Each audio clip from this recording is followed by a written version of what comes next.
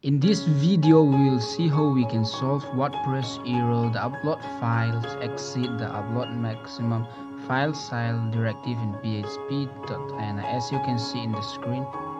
These errors happen when we try to upload the file size which is more than the file size which is allowed in your media. So if you want to check how many file size you can upload, you go to media and you click add new and here you can see how many file size you can upload. So here as we can see maximum upload file size is only 2 MB so you need to increase this memory limit. So in order to change this we need to go to our control panel. So in this control panel you go to multi PHP INI editor. So this one you click this one.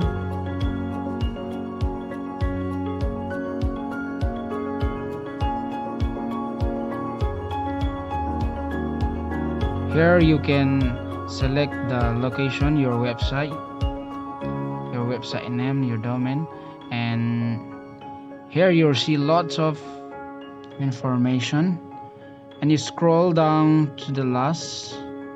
Let's scroll down.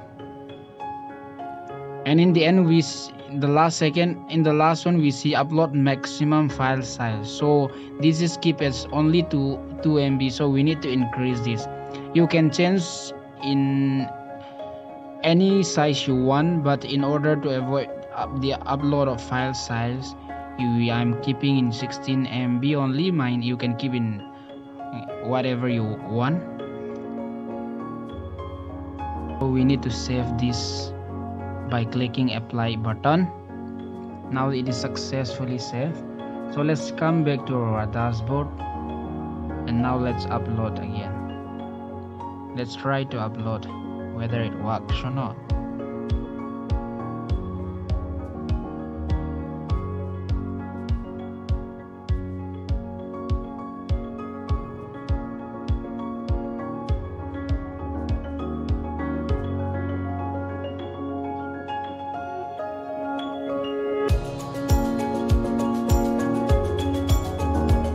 as we can see now we got no more error and it's working completely fine. So if you have this type of problem error you can follow the step. Thank you for watching